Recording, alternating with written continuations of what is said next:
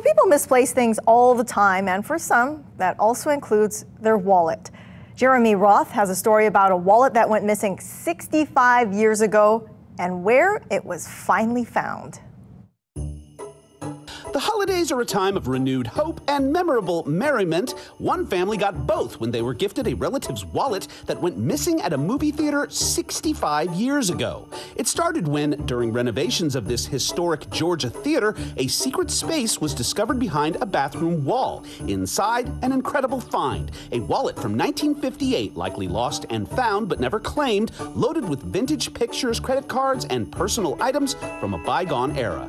I mean, this is a treasure trove uh, of 1958. The theater's owner took the discovery a step further and tracked down the family of the wallet's since departed owner and gifted them the 65 year old time capsule keepsake.